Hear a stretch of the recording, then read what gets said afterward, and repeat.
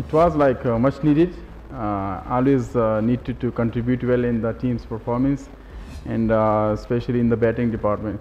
So that was a like good performance to restrict them under uh, 150. Totally a good bowling effort. All the boys bowled it uh, really well. So that's what you know. We have a very good bowling side. So overall, it was a very good bowling effort.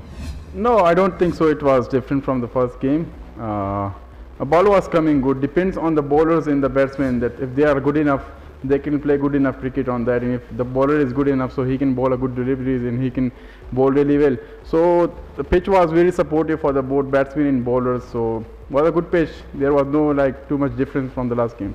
Yeah, exactly. That happens. Like T20 is all about like this. Something sometimes you will go well and suddenly everything will be changed. So uh, it was a good experience for us. Learned lots of things that, especially for the batsmen, that uh, until the last run match is not finished, everyone should take the responsibility and play till the end. That was a good like uh, hook-up call for us uh, for the upcoming matches and. Uh, uh, thanks God that we won. We won the match uh, at the end. So was a good team effort. But you know it's happening in T in uh, T20. Sometimes you lose the wickets in a very short time. So we learn from it, and hopefully we will not repeat the same mistake in the upcoming match. Yeah, he he is wonderful to watch. Since uh, I watched him in the first game, he bowled really well in uh, Mumbai, and uh, same today here. The way he bowled was amazing. Really impressed by him, and you know.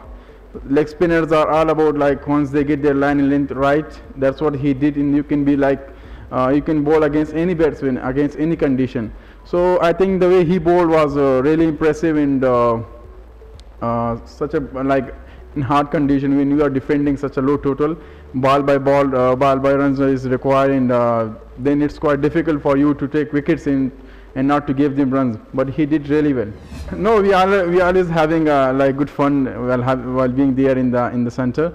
Against Pollard i did in the big bash as well. So we had some good uh, conversation and uh, you know that's what you know that it makes that that game more entertainment and more like uh, the people could like watch it more and they could get fun of that. So that was like the plan to go against him very aggressively and just tried uh, to make him to make some uh, mistake and get his wicket because his wicket was very crucial that time and he is the kind of player who can take away the game from you at any stage so that was the plan to go against him very aggressively let him to make a mistake